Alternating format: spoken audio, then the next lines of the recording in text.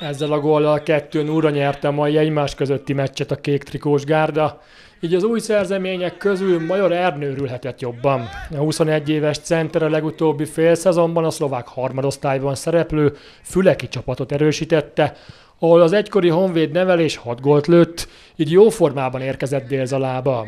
Bár a kapuban nem talált az első felkészülési mérkőzésen, de ő futotta a legtöbbet a kanizsaiak közül. Szerintem igen, elég agresszív vagyok center létemre, és szeretek is labdát szerezni, hogyha úgy adódik.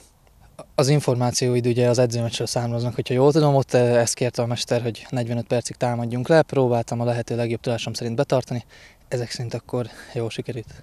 Most, ha jól figyeltem, Szlovákiából érkezel, ott hogy sikerült a félszezonod, illetve mik voltak azok a fő pontok, amik alapján úgy döntött, hogy ide igazolsz?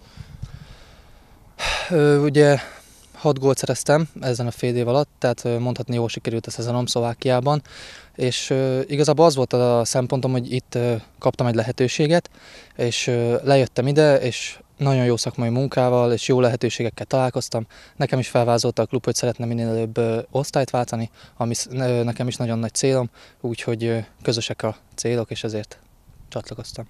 Tudom, hogy nem túl sportszerű kérdés, de mondjuk nyáron majd beszélgetünk, mivel lenni elégedett hány góllal? Fú, hát ez, ez tényleg nehéz kérdés, számokban nem nagyon tudom megfogalmazni. Szerintem, hogyha egy 8-10 gólt összehozok, azért már az elég jó szám fél év alatt. Ahogy néztem, a Kanizsa is sok gólt rúg csapatszinten, szóval szerintem ezzel nem lesz probléma, de az első az, hogy tudjak segíteni a csapatnak, és hogy minél több pontot szerezzünk a tavasszal.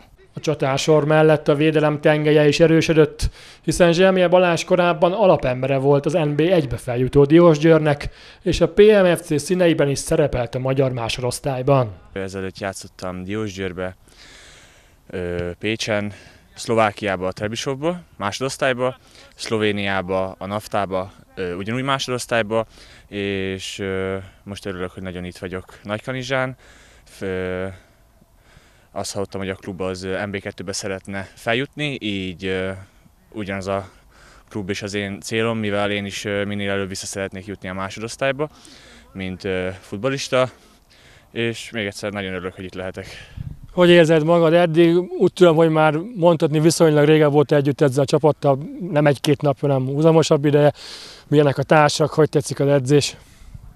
Egy másfél het edzek együtt a csapattal, nagyon jók az edzések, nagyon jó felek a srácok is, szóval szerintem könnyű volt a beilleszkedés, és, és az edzők is nagyon jó, jó embereknek, ismertem meg őket. Kicsit a posztolról főbb erősségeidet mit emelnél ki? Ö, nagyon magas vagyok, belső idő vagyok egyben, és ö, hát a feljátékom szerintem az ö, erősnek számít, az én véleményem szerint, és ö, a keresztlabdák még a nagy erősségeim. A csapat szombaton 11 órakor kezd Nagyatáron. A hazaiak nem várják rossz formában a tavaszi folytatást, hiszen csak rosszabb gólkülönbségük miatt állnak a második helyen a Somogyi megyei egyben, a Balaton lelle mögött.